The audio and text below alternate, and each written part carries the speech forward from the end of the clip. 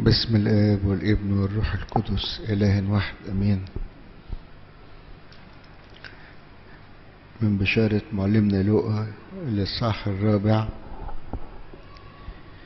بركاته علينا أمين.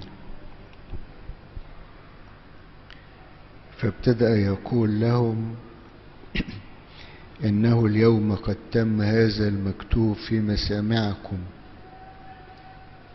وكان الجميع يشهدون له ويتعجبون من كلمات النعمة الخارجة من فمه. ويقولون أليس هذا ابن يوسف؟ فقال لهم على كل حال تقولون لي هذا المثل. أيها الطبيب اشفي نفسك. كم سمعنا أنه جرى في كفر ناحوم. فافعل ذلك هنا أيضا في وطنك. وقال الحق أقول لكم أنه ليس نبي مقبولا في وطنه. وبالحق أقول لكم أن أرامل كثيرة كنا في إسرائيل في أيام إيليا حين أغلقت السماء مدة ثلاث سنين وستة أشهر لما كان جوع عظيم في الأرض كلها. ولم يرسل إيليا إلى واحدة منها إلا إلى امرأة أرملة إلى صرفة صيدا وبرص كثير وبرصوا كثيرون. وبرص كثيرون كانوا في إسرائيل في زمان إليشع النبي ولم يطهر واحد منهم إلا نعمان السرياني. فامتلأ غضبا جميع الذين في المجمع حين سمعوا هذا فقاموا وأخرجوا خارج المدينة وجاءوا به إلى حافة الجبل الذي كانت مدينتهم مبنية عليه حتى يطرحوه إلى أسفل. أما هو فجاز في وسطهم ومضى. والمجد لله دائما أبديا أمين. الحقيقة أحبائي كنا بدأنا عن النعمة وعمل النعمة في حياة الإنسان. وقلنا أفضل شيء تعطيه النعمة للإنسان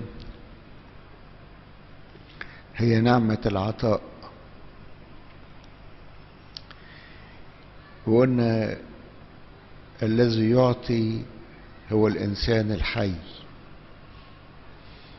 أما الإنسان الميت فهو الذي لا يعطي.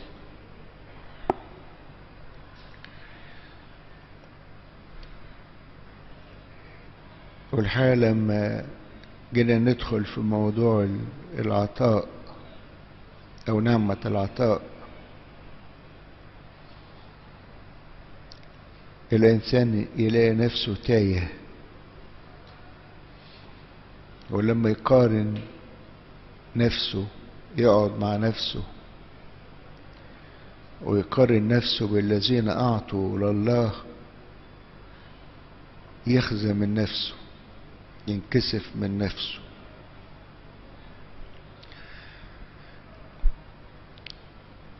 لما يقعد يحاسب نفسه بصدق ماذا أعطيت لله؟ ما يليش عنده إجابة. وإذا لقى هيلاقي شوية كلام خيبان.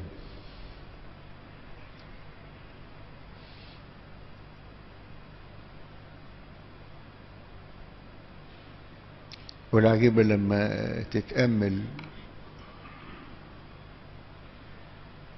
وتسمع سنكسار الكنيسة وتشوف كل اللي الكنيسة بتحتفل بيهم كقديسين تلاقيهم هم اللي قدموا.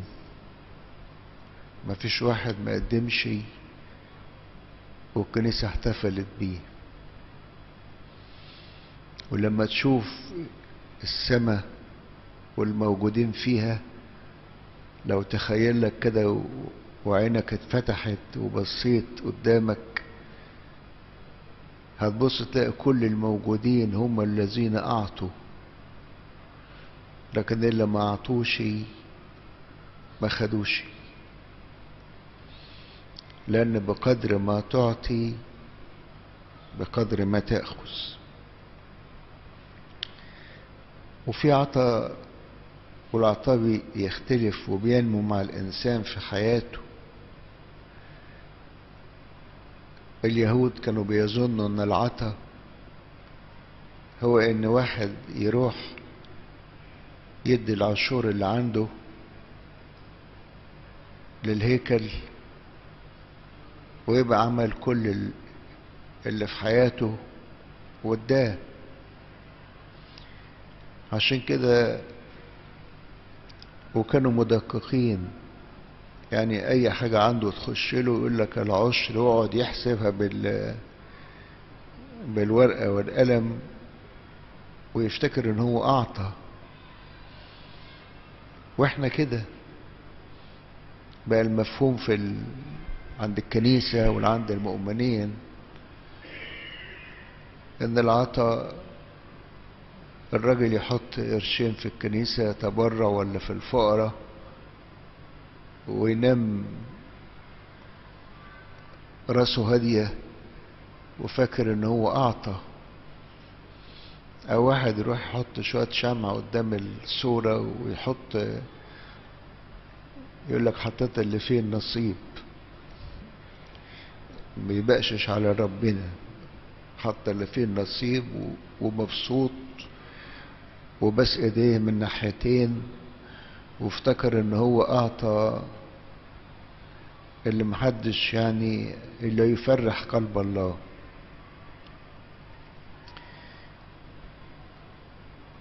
واختصر أو باختصار أصبح مفهوم العطاء إن الإنسان يعطي مالا.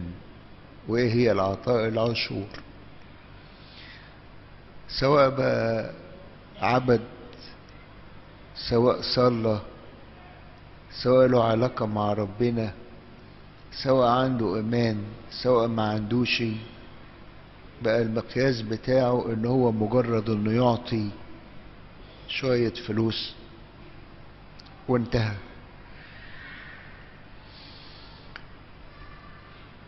طبعا كل فضيلة بيعطيها النعمة ويعطيها الله. يقف الإنسان يقف الشيطان لها بالمرصاد عشان يفقدها قوتها. فطبعا لازم الشيطان يمسك الإنسان عشان يضيع له. مش عايز أقول يضيع ميراثه لكن عشان دايما يحس إن هو بعيد عن الله. وياما بنشوف ناس كتير ما بيخشش الكنيسة ابدا في حياته. لكن قاعد في المحل بتاعه ولا في التجارة وبعدين يروح له القسيس ويقول له إحنا بنبني كنيسة أستاذ فلان وعايزينك تتبرع. يقول له قوي. ويديله تبرع كبير. وينشهر. ويظن إن هو بقى من القديسين أعطى شوية فلوس بالنسبة ليه ولكن ليس هو ده العطاء بتاع النعمة. العطاء مش إنك أنت تشحت ربنا فضلات وتديها له ولا إنك أنت تروح تلم له شوية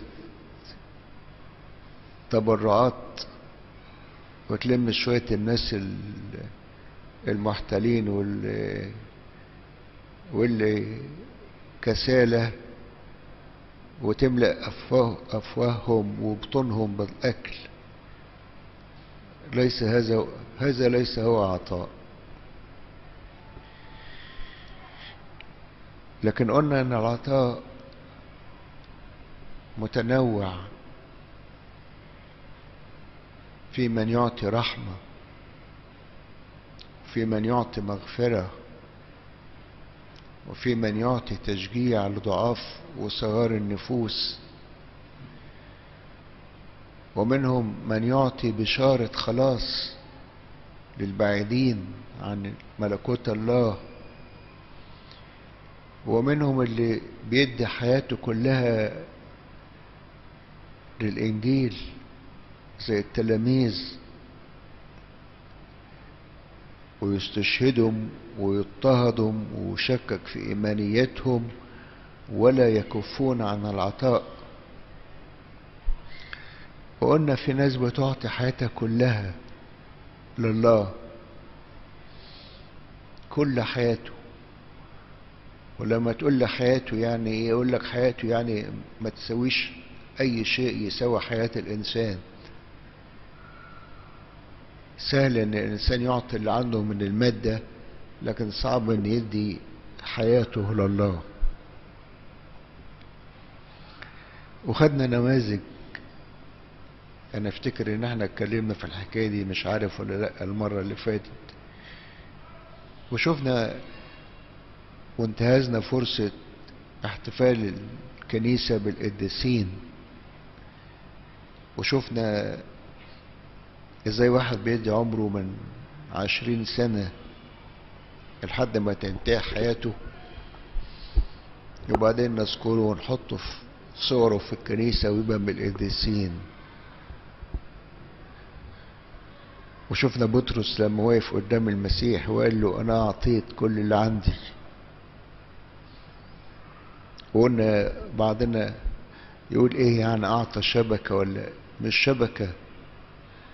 لكن بص وراء العطاء الحب اللي وراء العطاء.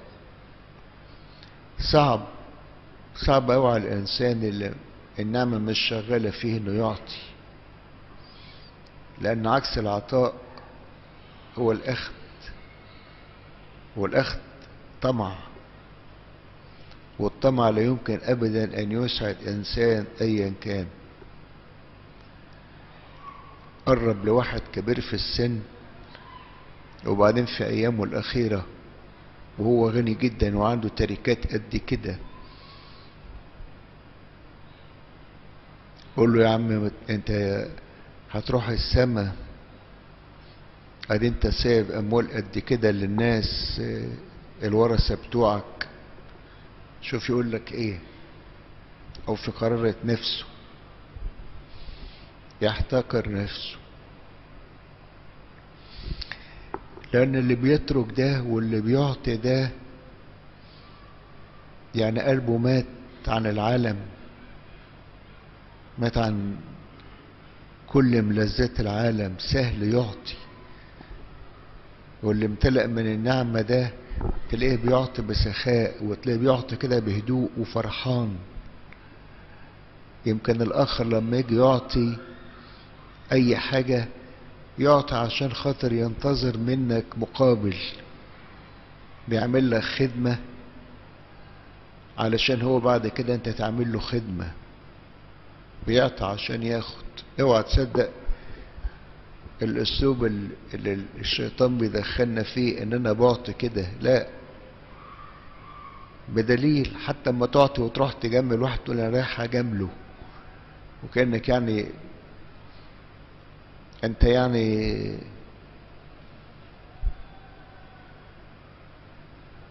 بتدينه دين عليه. رحت عشان أجامله ورحت مشيت لآخر الدنيا وتعبت ورحت عشان أعزيه في أبوه اللي مات. وبعدين لو أنت أبوك مات ودوكت ما جاش تبدأ تقلب عليه. وتقول ده ما عندوش اصل وأنا رحت له هو ما جاش ويحصل غضب. ده ليس عطاء. ده عطاء المفهوم بتاعنا إحنا المفهوم اللي ما يودي اللي بيعملوه حتى الأشرار ويعملوه أهل العالم. لأن وراء العطاء قوة إيمان وعلامة إيمان. ولا يعطي عطاء روحيا يرضي قلب الله ويفرح قلب الله إلا القلب اللي امتلأ بالإيمان. وحاسس إنه مهما يعطي هو هو بياخد. عشان كده كلنا تلاقينا حافظين الآية اللي قالها داوود. قال له من يدك اللي انت اديتهن انت اللي مدينا لكن حتى لما بنقولها بنقولها عشان داود قالها. لكن ما بندركهاش. الحقيقة أحبائي لما تخش في موضوع العطاء وتقعد تتأمل فيه تتوه وما تعرفلوش أول من آخر. تلاقي العطاء يبدأ من الإنسان من ولادته إلى مماته ويستمر معاه إلى السماء. حتى في السماء بيعطي حتى في السماء بيعطي عشان كده القديسين متلالئين في السماء لأنه أعطى على الأرض. تقول له في السماء هيعطي إيه؟ يعني في هناك فقر هيأكلهم.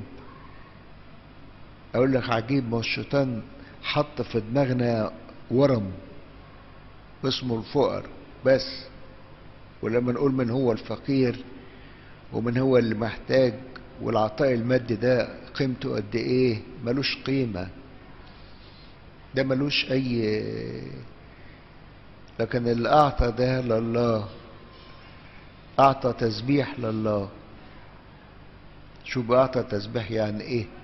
يقول لك داود مرنم إسرائيل الحلو. أعطى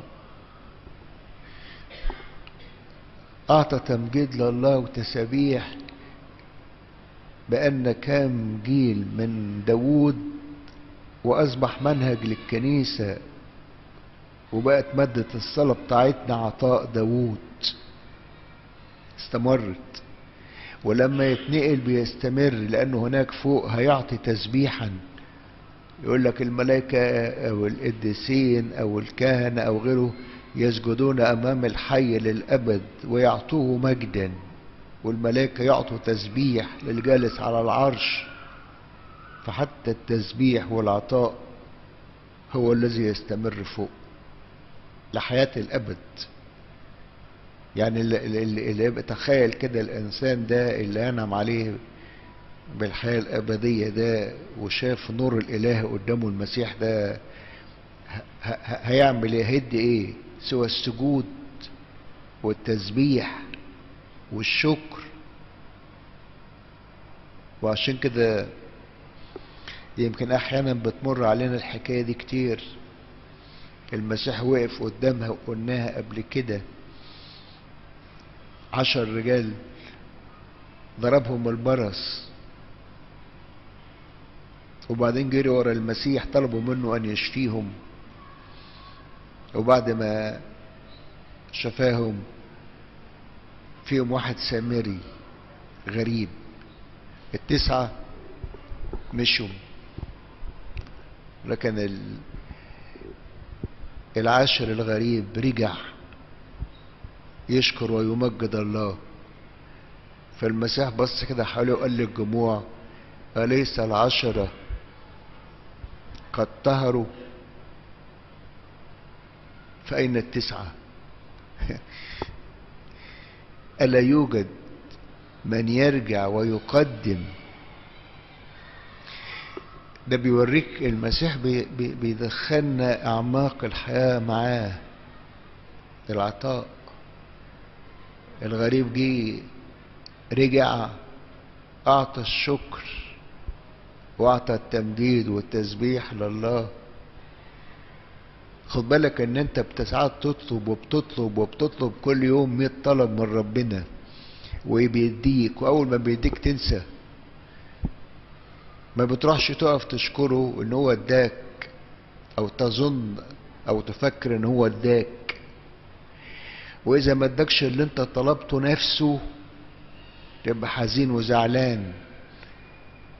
وتهالك إن الله غضبان. ما أعطانيش اللي أنا عايزه. وتجري. انت بتطلب اللي انت عايزه مش اللي هو عايزه. ما انتش قادر تفهم هو ليه بيعمل ماذا يقصد الله وماذا يريد وازاي يغير فيه وفيا.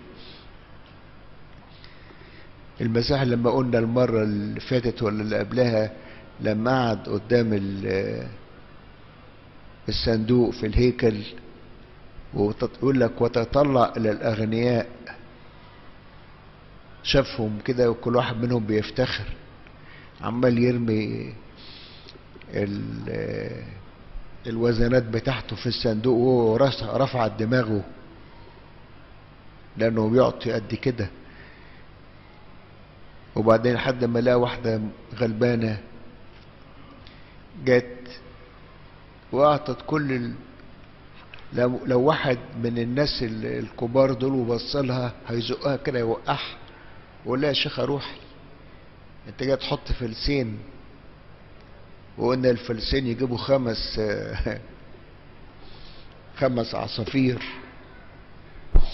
لكن المسيح ما بصش إلا إلى هذه المرأة التي أعطت. هي مش فكرة الفلسين. لكن معنى أعطت ما عندها يعني أعطت الحب كله. علامة الإيمان علامة الثقة في الله أنها تعطي. عايز أقول لك كل ال... من أول يوم بدأ المسيح يعلم كان عمال يجذب الناس عشان يدخلهم في مفهوم نعمة العطاء. التي جاد بها الله على الإنسان والتي مفروض أن الإنسان يجيد بها على الآخرين لمجد الله. أول ما قابل المرأة السامرية وقعد معاها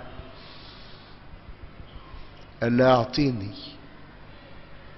طب وبيقول لها أعطيني ليه؟ عاوز يدخلها في نعمة العطاء. هي ما رضيتش.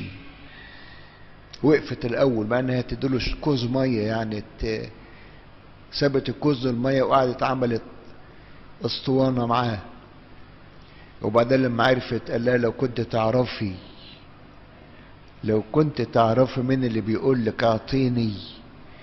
ولو تعرفي عطيته دخلها في موضوع العطاء. فلما انبهرت بالعطاء ده قالت له طب ما تديني من المية اللي بيشربوا منها دي عشان ما اجيش تاني واتعب. غير مفاهيمها. وقال لها اللي اللي ياخد من المية بتاعتي ما يعطش إلى الأبد. بيديها لمين؟ للي بيعطي. هي ما ادتلوش. وبعدين بدأ يكلمها لحد ما خلاها تطلب بنفسها العطاء. ولما وقف على الجبل أول ما اتكلم مع الجموع قال له من سألك؟ أعطيه. اللي يطلب منك ما تردوش. خدوها ال... خدوها الفريسيين والكتبة والمرائين وحطوها وشرحوها يعني الفلوس. لما يطلع يطلب منك حاجة اديله ابدا. مش هو ده ابدا. مش هو ده مش هو ده اللي دخلك في العشرة مع الله. قلنا المرة اللي فاتت القديس أنبا بشوي أمه. لما جه الملاك يقول لها اديني واحد من ولادك.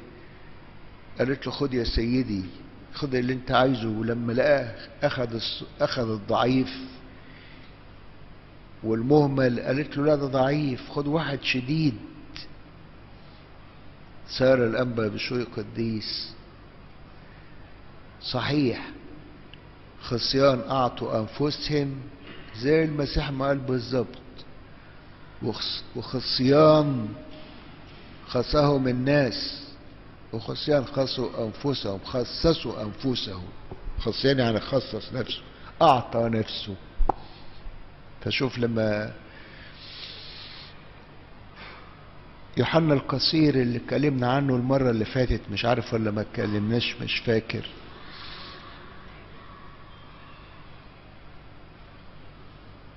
اتكلمنا عنه. يوحنا يوحنا القصير العجيب ده اللي بنذكره في المجمع بتاع القداس. نشوف العجب فيه. إحنا ما بنذكروش عشان خاطر عشان خاطر يعني كده راح كده وطلع الشياطين وشفى الناس. ما هو برضه ده, ده عطا. لكن حاجة عجيبة جدا. لما راح لمعلمه الأنبا بيموى هم بيقولوا أنبا بيموى الأسماء بتختلف. وفي بعض المترجمين يقول لك لا ده أمون أبوه سواء أبوه أمون سواء أبوه بيموى سواء أبوه زي ما يكون اسمه يعني. أول ما قال له روح خد الفرع ده و وازرعه وكل يوم حط له بلاص مية عاوز يعلمه العطاء. لأن العطاء طاعة. طاعة لوصية الله إن الإنسان يعطي واللي ما قدرش يعطي الحاجات الأرضية.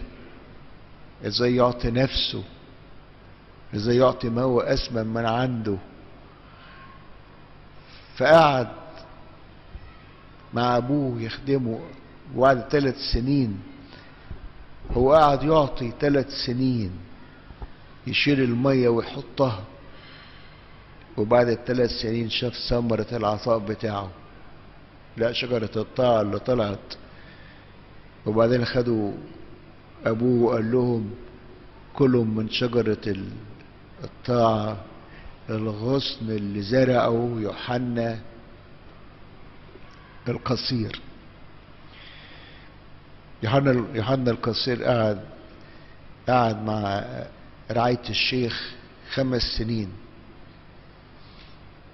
خمس سنين ما شافش فيهم عينه النوم في جهاده عمال يعطي نفسه في الصلاة ويعطي نفسه الأصوام ويعطي نفسه للتسبيح ويعطي نفسه لكلمة الله يحفظها.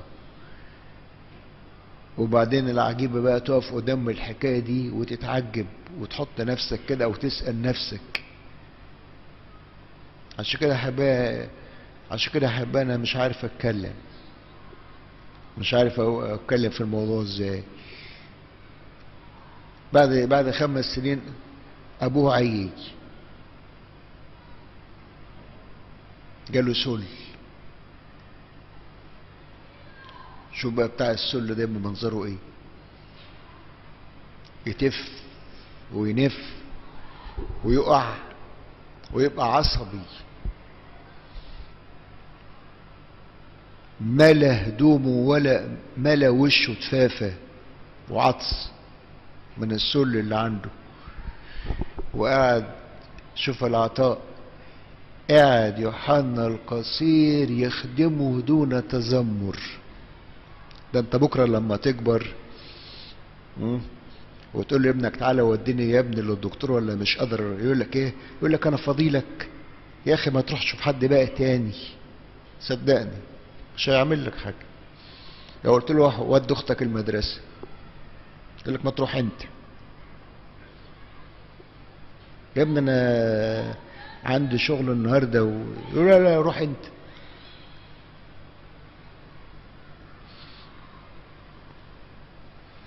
النهارده أنت بتقدر تمشي على رجليك وتيجي الكنيسة. عارف لو انت بعد كده اما تيجي تكبر ما تقدرش تمشي وعاوز تتعكز وعاوز حد يسندك محدش هيجيبك. صدقني. لما تعمل إيه؟ لأن ما تعلمش من صغره كيف يعطي عشان ياخذ بعد كده.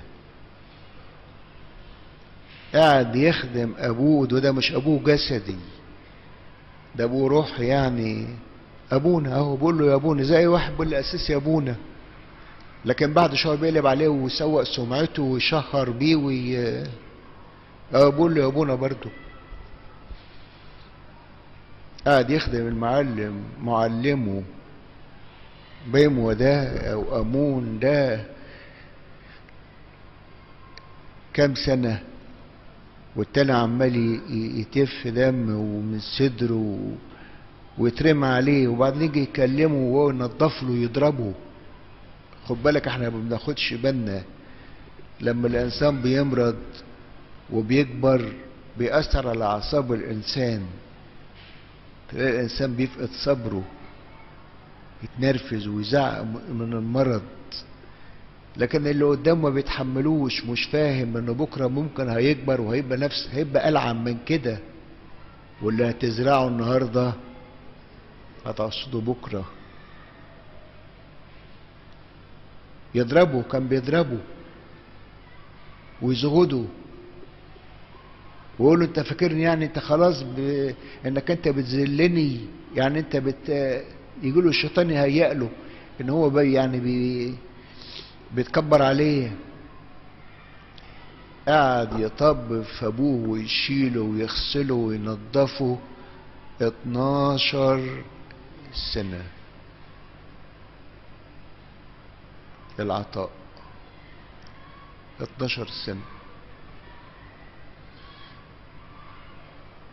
انت لما تقعد كده بينك وبين نفسك وتراجع كده حياتك وتشوف كده أبوك الكبير ده كم مرة قال لك على حاجات وانت اتمرمرت وما عملتهاش. أو أمك أو قرايبك أو واحد تعرفه وقصرت. ويوم ما تعمل لواحد حاجة عاوزه يشكرك وعاوز يحطك تحطك يحطك على تحطه على دماغك من فوق. ولو قلت له كلمة هو بيخدمك ولا بيجيب لك ولا بيودي لك يسيبك ويمشي. صدقني. يقول لك مش عاجبك؟ طب بقى طب بقى اعمل انت بقى.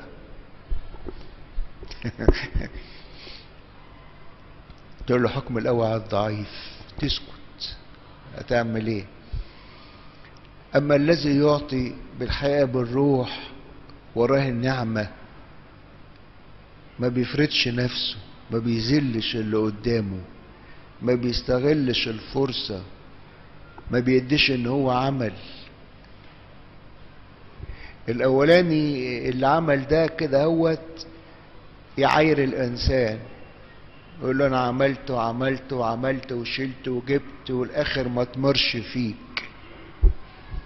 أما الآخر يفعل كأنه بيفعل بالمسيح لأنه حاسس القوة اللي عنده اللي بيشيل بيها واللي بيجيب بيها مش منه. دي قوة المسيح فيه. عارف لو لو لو موش العيان ده هوت اللي بيخدمه ده ويطببه كان عيل لكن الله مديله القوة علشان يخدم بيها ده. شوف العطا يوصل لفين؟ بعد 12 سنة الشيخ بقى خلاص كان المرض أكل في جتته وبدأ هيموت فمسكه كده من إيده وكانت الرهبان أو الإخوة اتجمعوا كتير حواليه بقى كتروا فقال لهم يوحنا ده حمل البرية على كفه زي الواحد ما بيحط نقطة مية ويشيل على كفه. تقعد تفكر فيها وتتأمل فيها تدوب. يوحنا حمل شهيد على كفه كما يحمل الإنسان نقطة الماء. على كفه شيل الصحراء باللي فوق مين حد يقدر يشيل الصحراء؟ هو شالها زي ما يكون شايل نقطة. هو ده العطاء حباء وبعدين بص له كده قال لهم هذا ليس إنسان ولكنه ملاك. شوف طب أعطى يوحنا ورفع دماغه كان يزداد إتضاع. كان يزداد انسحاق وحسب وحسب ويحسب نفسه غير مستحق إن هو مش ينظف أبوه إن ان, إن يلمسه عشان كده صار أب عظيم في. في الكتب النسكية بيعتبروه زي أنطونيوس ومقاريوس وأرسانيوس وبشوي الآباء الكبار يسموهم الآباء العظام ده يوحنا يوحنا القصير اللي أعطى. وأول ما تيجي تقرأ في سيرته وتشوف كل المخطوطات أول حاجة قبل ما يكلمك عنه يكلمك على القصة ديت. يوحنا القصير اللي شال البرية على إيديه كما يحمل الإنسان نقطة الماء على كفه. هو ده يوحنا. وبعدين أبوه قال له تعالى. قدامهم قال له أنا هتنيح. أنت وبشوي مع بعض. واحد يروح شرق وواحد يروح غرب ويقعد في مغارة ويبقى له جيل. الله هيبعت له أولاد وهيبقى أب. وبعد ما أسلم الروح صار يوحنا القصير أب للبرية. وكان له دير كبير ورا دير السريان. بقى ديرين بقى يوحنا القصير والأنبا بشوي. ده أعطى وده أعطى. عجب. كل كل من أعطى قبل ما يسجل اسمه على الأرض بيسجل في دفتر الله في كتاب الله. انت ممكن تعطي كلمة كلمة واحدة. كلمة واحدة تقولها. تطفي نار. وممكن كلمة واحدة تقولها تشعل مدينة ممكن كلمة واحدة تقولها تسعد إنسان في حياته. وممكن كلمة تقولها له يروح ينتحر ويرمي نفسه في النيل. كلمة واحدة ممكن تقولها وانت غضبان لمراتك ولا لحد جنبك ولا لواحد من ولادك تتمسك في دماغه وتبقى لازقة وتبقى حربه طول ما هو عايش الشيطان يشككوا فيك ويفكروا بالكلمة. وممكن تعطي كلمة واحدة تفرح قلب إنسان حزين. ممكن تعطي حب الإنسان محتاج حب. الناس كلها كرهاه.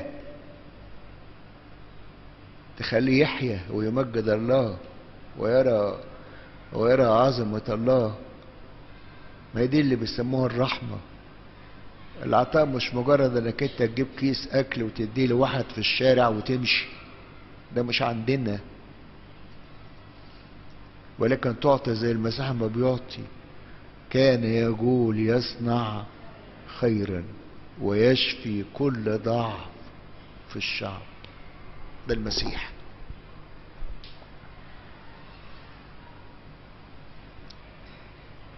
قلت لكم المرة اللي فاتت وإحنا بنتكلم على الأنبا بشوي قلت لكم جاء من سوريا ماري إفرام. شافه في منامه في حلمه وقال له قال له في من يشبهك في جهادك وفي طهارتك وفي قداستك. واحد اسمه بشوي في وادي النطرون. قلت لك قام خد بعضيه وجه وبعدين لما دخل وادي النطرون بيقول الكتاب إنه حملته سحابة نورانية كان قديس كبير كبير قوي. عند السوريان وكان الله مديله موهبة ال... موهبة الشعر والتأليف والمعرفة. فساعتها ربنا قال له انزل كان قاعد في المغارة قال له انزل انزل انزل انزل انزل واجه الوثنيين والمهرطقين. ونزل بقى يكتب العقيدة زي أغاني كده زي أشعار والناس ترددها. دوخ الشيطان. ولم يمت كتابته لحد اليوم. ماري فرام ده جه وقلت لك دخل راح يزور الأنبا بشوي وكان يتكلم السوريانية والأنبا بشوي بيتكلم القبطية. لكن أول ما قابلوا بعض كانوا فاهمين بعض.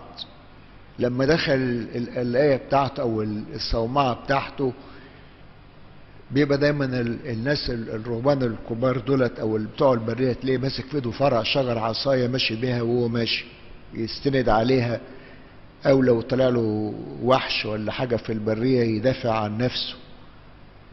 فلما يجي يخش قال لقيت واحد عيب انه يخش وهو ماسك العصاية. ده من أدب الرهبان.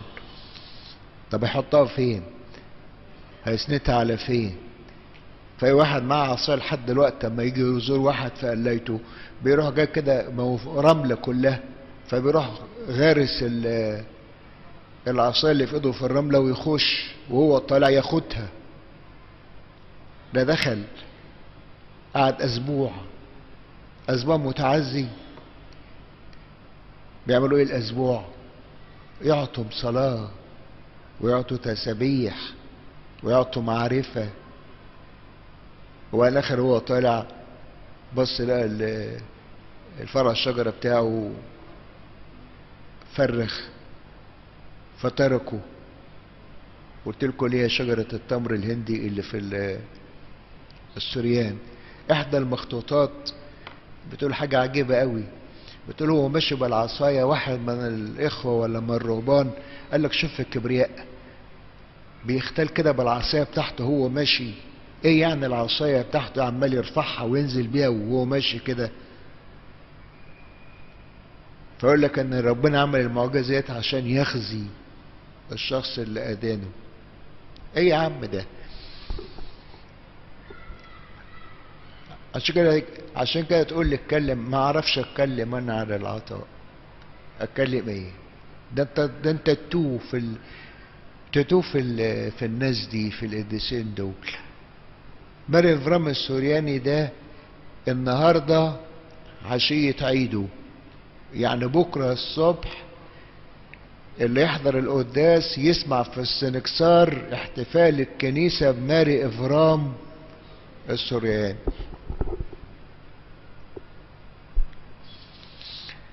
ماري إفرام السورياني بيعطي ولما يعطي اللي بقى لا كان أسقف ولا كان بطرك ولا كان قسيس ولا كان شماس ولا كان حاجة خالص. ما معهوش حاجة كده. أخ مش كلمة أب يعني أسقف زي ما إحنا فاكرين. ده أب يعني. إنسان عادي. لكن كان يعطي يشجع الناس بتوع البعيد عن الإيمان يلمهم. عارف عارف اللي بيروح يلم الناس كده من ال... من الشوارع ويجيبهم من الكنيسة ومن البيوت و... و... و... و... ويموت نفسه عشان يجيب واحد معاه. كان ماري افرام كده. جاله كده في جاله كده هو في قلايته شاف عمود نور. نزل كده. فكر إيه العمود النور ده؟ إيه اللي أنا شايفه ده؟ فسمع صوت قال له ده القديس باسيليوس. القديس باسيليوس. فين القديس باسيليوس ده؟ البابا البطريرك القديس باسيليوس هيبقى بينه وبينه قد إيه؟ يعني لما يجي يمشي من سوريا لحد تركيا هياخد قد إيه؟ ده مش محتاج يمشي. دي سحابة تنقله. خد عصايته وراح رايح عند ال عند ال القديس باسيليوس اللي إحنا بنصلي قداسه قداس الباسيلي.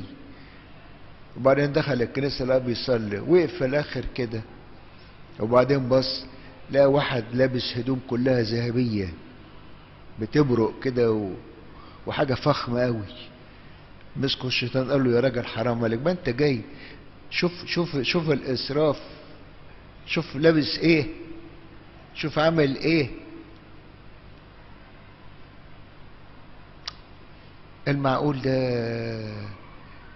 ده باسيلوس اللي جاله صحيح. إيه اللي لابسه ده يا عم؟ فساعتها راح الله كشف القديس باسيليوس. قال له فرام السورياني موجود في الكنيسة في الآخر. فوقف قدام الهيكل وقال ال... وقال للأب باسيلوس يتفضل يجي عندي. الراجل وقف مذهول. وإيه اللي عرفه بيا؟ وشاف ما شافنيش قبل كده وعرف ان أنا هنا إزاي. بدأت النعمة ترجع له تاني ثقته في القديس باسيليوس وبعدين بص كده رفع عينه كده لقى حمامة بيضة فوق راس القديس باسيليوس وهو في القداس. وحضر القداس وتناول من القديس باسيليوس. وبعد ما خلص القديس باسيليوس عرض عليه يرسمه كاهن رفض. قال له لا. اديله رتبة الكانوت ما رضيش كل اداله رضى إنه يبقى شماس أغنسطس. يعني عشان لما يروح يكلم الناس أو يقرأ كتب يعني. فاداله أغنسطس.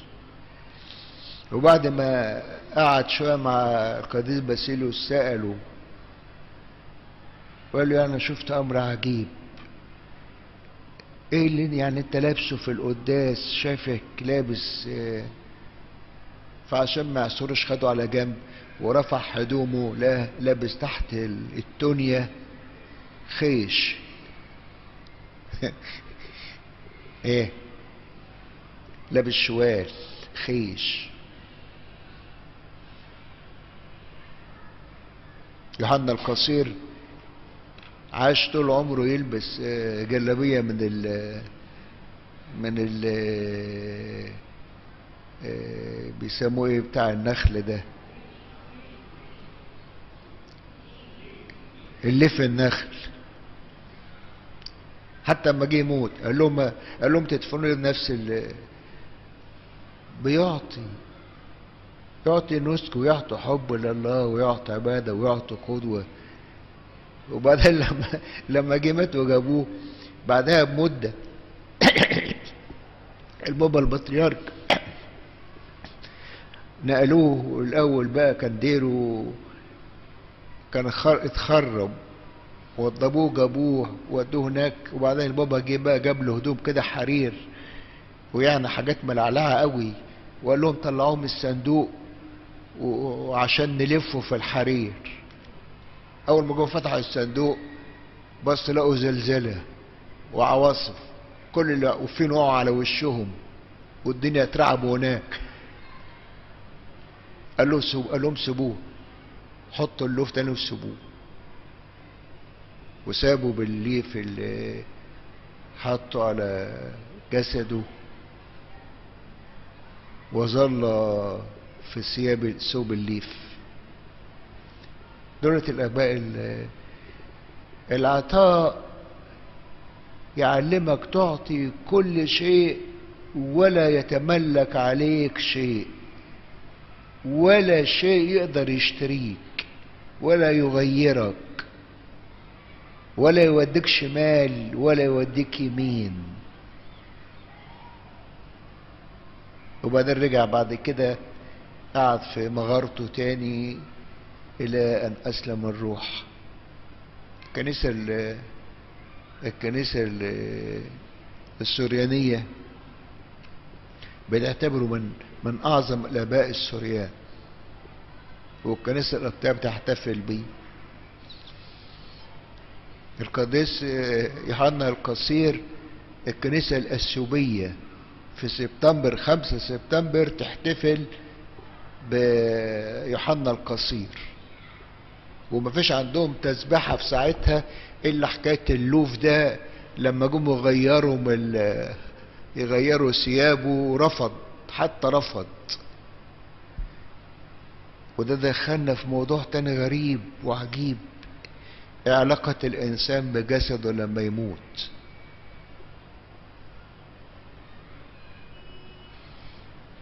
يعني أنا بعد ما الواحد ما يموت كده يحطوه في في التربة والدود ياكل فيه شوية ويفضل عظمه انتهى يعني العلاقة بينه وبين روحه؟ ده السؤال. محدش قادر يقرب من السؤال ده ويفكر فيه. مع انك مع إن لما تيجي تقرب منه تلاقيه فيه قصص عجيبة.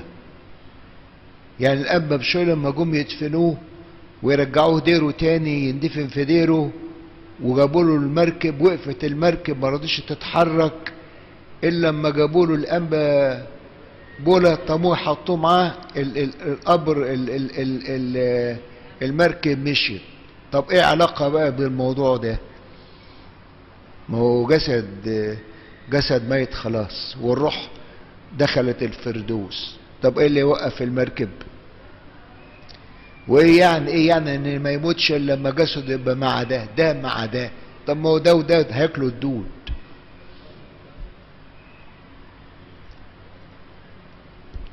القديس القديس أرشليدس كان تربطه بأمه محبة كبيرة. وبعد ما راح اترهبن وأعطى نفسه الأم كانت هتموت نفسها لازم تشوفه.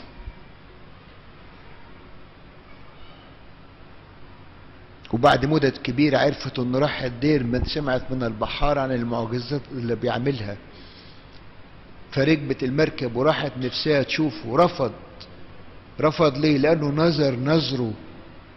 إن هو بقى بتاع ربنا. لكن كان قلبه متعلق نفسه يشوفها مش قادر يكسر نظره. وهي مش قادرة تمشي.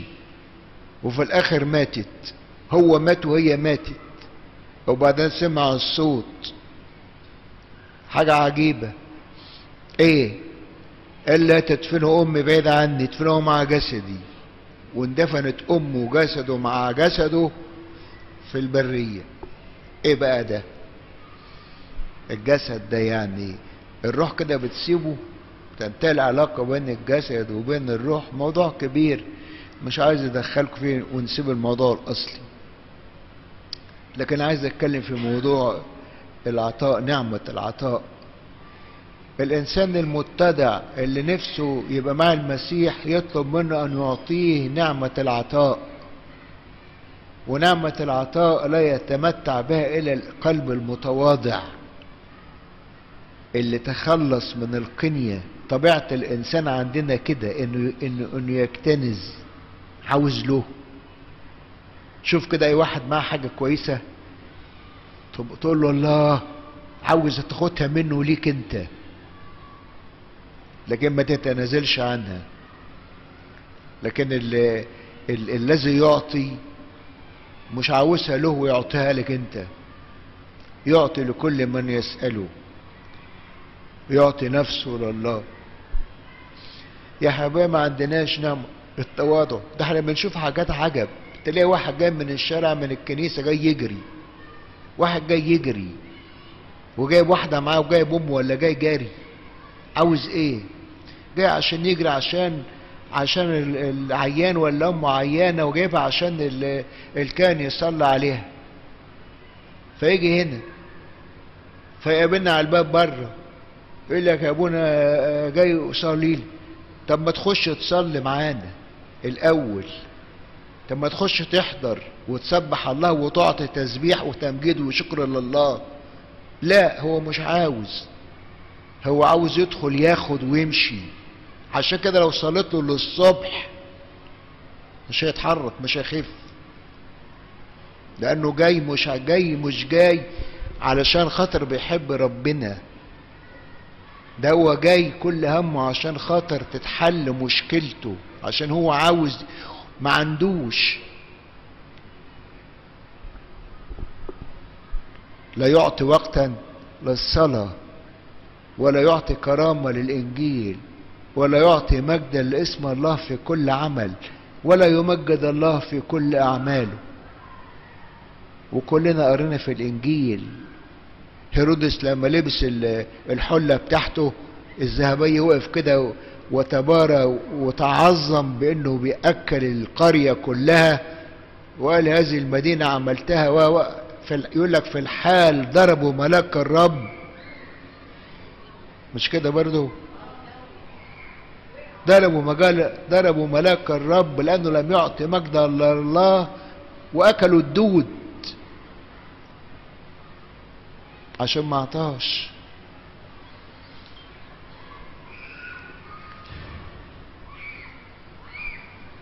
نعمة العطاء.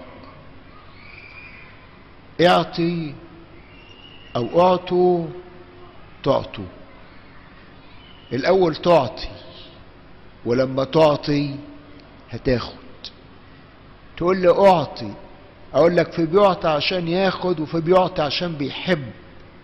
وفي بيعطي لأنه عنده الإيمان اللي يخليه يعطي. عارف؟ لو بصيت كده وراجعت نفسك وقعدت تحاسب نفسك بأمانة ليه أنت ليه أنت ما بتاخدش؟ وليه أنت فاتر؟ وليه أنت بتتحارب؟ وليه وليه وليه؟ تلاقي كلنا عندنا الحكاية ديت. دايما عاوز تاخد بس. بتروح الكنيسة تصلي عشان تتحل المشكلة اللي عندك. مش عشان تحب ربنا. بتروح الكنيسة مش عشان تصلي كل يوم عشان عندك مشكلة ولما تتحل خلاص تنام وما تجيش تاني. بتيجي علشان خاطر ليك مهمة. عاوز تقابل حاجة وتعمل حاجة من. أو عاوز حاجة من ربنا. يا سلام. تقوم بدري وتيجي وتقعد كده خمس ست أيام لحد المهم كل همك إن الحاجة اللي أنت عاوزها تاخدها. وعمره ما يديها لك. عمرك ما تاخد. صح الله ساعات بيتحنن كده عشان يدربك ويعلمك يديك ويفرحك عشان تتغير وأنت لا تتغير ما بتاخدش. وإذا خدت الأرضيات مش هتقدر تاخد السمائيات كل حياتنا مع الله. كل شيء عطية من الله. أعطاها لنا الله لكي نعطي نحن أيضا. خد بالك أنا بكلمك مش في موضوع وعظ في أهم موضوع في حياتنا. ما بنفكرش فيه ما حدش بيتكلم فيه. ده الموضوع الأصلي. سنملك وندخل السماء حسب ما أعطينا. مش أعطيت كده يعني ظرف فيه فلوس لناس ولا أكلة ولا مش لا لا سيبك من الكلام ده كله. ده حاجات تافهة ما لكن ال... ده أول أول طلبة طلبها. وفي العهد القديم افتحوا شوف كلام الله للشعب عشان يعلمه. أول حاجة يقول يا ابن اعطني. هو ده العطاء.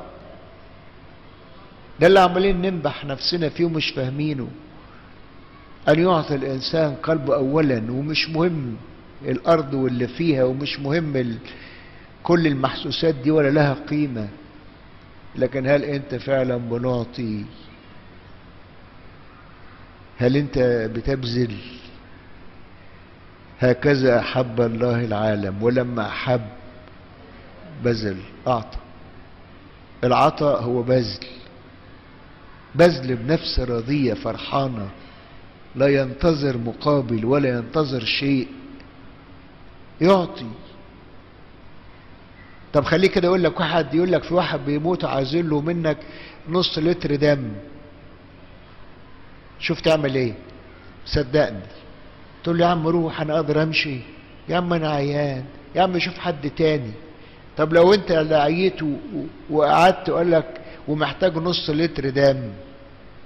ماذا كنت تتمنى؟ لكن الذي لا يتعلم العطاء لا يجود حتى بأدفى الاشياء عشان كده تبص تلاقي دايما الكنيسة بتاعتنا بتاعت مواسم. بتاعت مناسبات.